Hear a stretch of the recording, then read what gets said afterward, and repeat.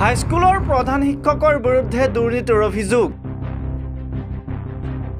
জিলা উপায়ুক্তলৈ অভিযোগ দাখিল।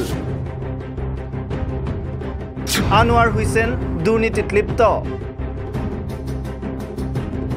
পি এম পোষণ বন্ধ কৰি শিক্ষাৰ্থীক লঘোণে ৰাখিছে। বিদ্যালয়ৰ পুখুৰী ভাড়াত দিছে আনোৱাৰ হুছেইনে। নগাঁও জিলা সংমণ্ডলৰ বিদ্যালয়সমূহৰ পৰিদৰ্শকৰ কাৰ্যালয়ৰ অন্তৰ্গত কটাহগুৰি এ ইউ হাইস্কুলৰ প্ৰধান শিক্ষক আনোৱাৰ হুছেইনৰ বিৰুদ্ধে দুৰ্নীতিৰ তীব্ৰ অভিযোগ উত্থাপিত কৰিছে বিদ্যালয়খনৰ পৰিচালনা সমিতিয়ে। অভিযোগ অনুসৰি বিদ্যালয়খনৰ প্ৰধান শিক্ষক আনোৱাৰ হুছেইনে চলিত বৰ্ষৰ আঠ ফেব্ৰুৱাৰীৰ পৰা দুই মেলৈকে পি এম পোষণ বন্ধ কৰি ছাত্ৰ ছাত্ৰীক লঘোণে ৰাখিছে। প্ৰধান শিক্ষকগৰাকীয়ে কাৰ্যকৰী কমিটিয়ে লোৱা প্ৰস্তাৱসমূহ প্ৰচিডিং বহীত লিপিবদ্ধ নকৰাৰ ফলত বিদ্যালয়খন চলাই নিয়াত অসুবিধাৰ সন্মুখীন হৈছে। পৰিচালনা সমিতিক অন্ধকাৰক ৰাখি প্ৰধান শিক্ষকজনে নিজৰ খেয়ালখুচি মতে বিদ্যালয়খন চলাই যায়। বিদ্যালয়খনৰ ছয় বিঘা মাটিত থকা দুটা ফিচাৰী ভাড়া দি বছৰি সত্তৰ হাজাৰ টকাকৈ আত্মসাত কৰাৰ অভিযোগ। প্ৰধান শিক্ষকজনে যোৱা বৰ্ষৰ ঊনত্ৰিছ ছেপ্টেম্বৰত কটাহগুৰি সমবায় সমিতিৰ পৰা তেৰ কুইণ্টল ছিয়ান্নব্বৈ কেজি চাউল উঠাই আত্মসাত কৰাৰো গুৰুতৰ অভিযোগ উত্থাপন কৰিছে বিদ্যালয়খনৰ সভাপতিয়ে।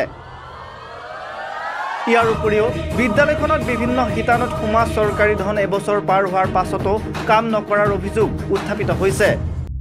চতুৰ প্ৰধান শিক্ষকজনে সভাপতি আৰু উপ সভাপতিক কাৰ্যকৰী সভাত নমতাকৈ নিজে নিজে ইউনিফৰ্মৰ নিবিদা বাছনি কৰাৰ অভিযোগো উত্থাপিত হৈছে। মুঠতে প্ৰধান শিক্ষকৰ ইতিহাস বহুত আখ্যান বহুত। প্ৰধান শিক্ষকজনে প্ৰায় সহকাৰী শিক্ষকৰ লগত কাজিয়াও কৰে। ধন লৈ ছাত্ৰ ছাত্ৰীক পৰীক্ষাত উত্তীৰ্ণ কৰাৰ অভিযোগ। পৰিচালনা সমিতিৰ সভাপতিক তুমি বুলি সম্বোধন কৰাকে আদি কৰি তেওঁৰ বিৰুদ্ধে আছে বহু অভিযোগ।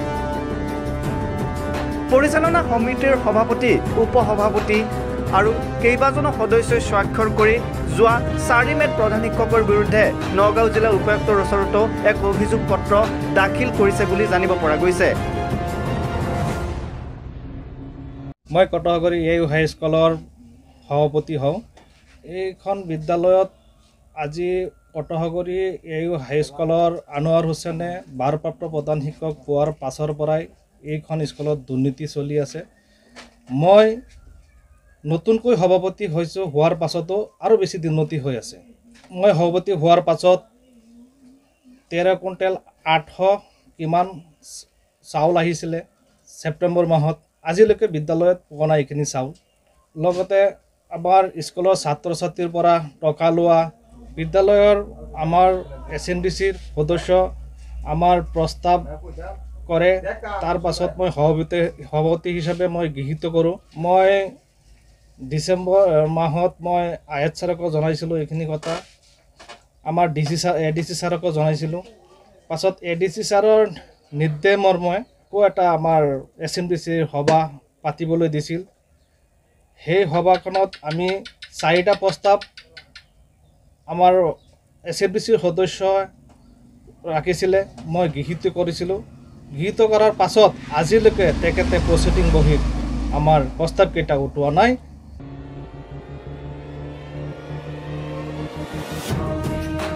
বৰচলাৰ পৰা আবুল হুছেইনৰ report T N L news gold से लेकर बिजनेस पर्सनल से लेकर होम हर जरूरत को मिलेगा लोन तो हुआ ना यही सही लोन